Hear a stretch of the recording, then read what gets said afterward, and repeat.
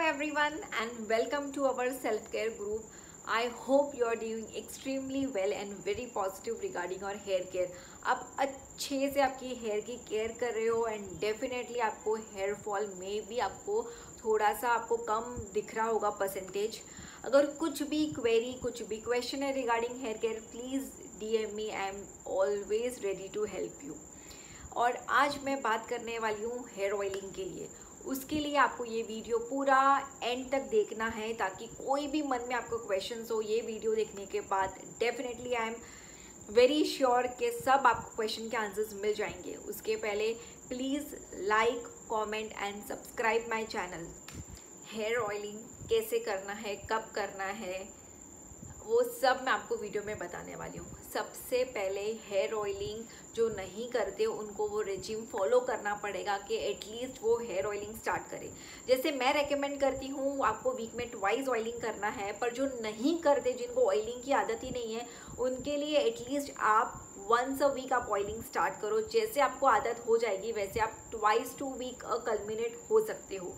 और जो ऑयलिंग करते हैं तो वो तो डेफिनेटली ट्वाइस अ वीक तो आराम से कर सकते हैं। Twice a week is very compulsory to maintain your hair roots stronger, to maintain your hair follicle stronger ताकि new hair growth अच्छे से हो पाए। उनको वो ताकत मिले, उनको वो पोषण मिले ताकि वो हेयर एकदम स्ट्रॉन्ग हेयर ग्रो हो और वो सस्टेन कर सके ताकि वो इजीली ब्रेकेज या फॉल ना हो सके। इसके लिए आपको ऑयलिंग करना है।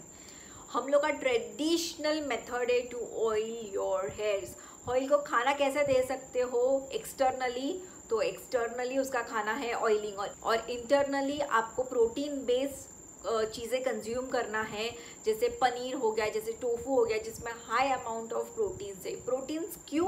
बिकॉज़ अपने हेयर है, वो प्रोटीन से ही बने हैं। और उनके लिए फ़ूड है सिर्फ़ प्रोटीन्स आयन वो सब उनको ज़रूरत है। अगर आप वो अगर प्रॉपर अमाउंट में उनको देंगे तो आपको हेयर का कभी भी इश्यू नहीं आएगा। और इंटरनली आपको प्रोटीन बेस्ड चीज़ें कंज्यूम करना है, जैसे पनीर हो गया, जैसे टोफू हो गया, जिसमें हाई अमाउंट ऑफ़ प्रोटीन्स है। प्रोटीन्स क्यों? बिकॉज़ अपने हेयर है, वो प्रोटीन से ही बने हैं। और उनके लिए फ़ूड है सिर्फ़ प्रोटीन्स आयन वो सब उनको ज़रूरत है। अगर आप वो अगर प्रॉपर अमाउंट में उनको देंगे तो आपको हेयर का कभी भी इश्यू नहीं आएगा। सो so, प्रॉपर आप एक टाइम टेबल सेट करो आपको ऑयलिंग कभी करना है। ट्वाइस अ वीक में you can fix the days also morning में करना है इवनिंग आफ्टरनून और ट्यूजडेज और फ्राइडे या वेनसडे और Saturday you have to fix अगर फिक्स नहीं होता है आगे पीछे होता है तो चलता है। बट अकॉर्डिंग यू अकॉर्डिंगली जैसे आप टाइम टेबल या रिदम फॉलो करते हो आपको हेयर फॉलिकल्स को भी आदत हो जाएगी। आज मुझे ऑयल लगने वाला है तो I have to be calm and patient so so just वो एक रिदम फॉलो करो तो डेफिनेटली जो मैं बोल रही हूँ, आपको डेफिनेटली वो रिजल्ट्स मिलेंगे। तो लेट्स स्टार्ट विथ ऑयलिंग अगर आप कोई कोल्ड प्रेस ऑयल्स यूज़ कर रहे हो तो मेक श्योर sure उसको हल्का सा आप लूपवम करो। ज़्यादा गर्म करने की ज़रूरत नहीं है। इफ़ अगर आप कोई भी cold press coconut almond olive sesame castor oil use कर रहे हो। अगर कोई भी ऑयल ऐसा यूज़ करते हो, जिसमें काफ़ी सारे एसेंशियल ऑयल्स है हर्ब्स है तो उसको गर्म करने की बिल्कुल भी ज़रूरत नहीं है। और साइड में एक अच्छा सा काम सा म्यूज़िक लगा दो आप, ताकि आप मेंटल जो भी आपका स्ट्रेस है, वो सब साइड में रख के इजीली आप प्रॉपरली फोकस कर सको ऑयलिंग के ऊपर। अभी आपने ऑयल गरम कर लिया मैं आपको साइड में दिखा रही हूँ ऑयल गरम करने के बाद कैसे उसको पार्टीशन करना है। इस हिसाब से उसको पार्टीशन कर करके आपकी फोर फिंगर्स है, वो ऑयल में डिप होनी चाहिए और उसको उसको ऐसे स्कैल्प में दबाना है, ऐसे उसको फिंगर टिप से स्कैल्प में दबाना है ताकि अगर गर्म हो ऑयल तो उसके पोर्स खुले और वो ऑयल अंदर जाए, क्योंकि ऑयल के मॉलिक्यूल्स इतने छोटे होते हैं ताकि वो इजीली आपके स्कैल्प के अंदर पेनिट्रेट हो सकते हैं। तो इस हिसाब से आपको पार्टीशन करके पूरे, पहले front ear to ear partition में आपको प्रॉपरली ऑयलिंग करनी है।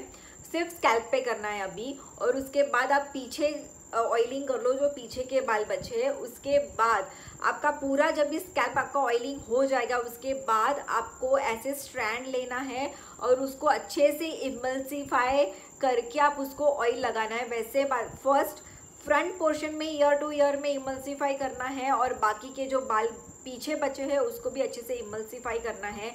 अगर आपके पास टाइम है तो बेस्ट आप स्टीम ले लो हॉट टॉवल ट्रीटमेंट ले लो that is a best option to deep condition your hair जो कंडीशनर नहीं यूज़ करते।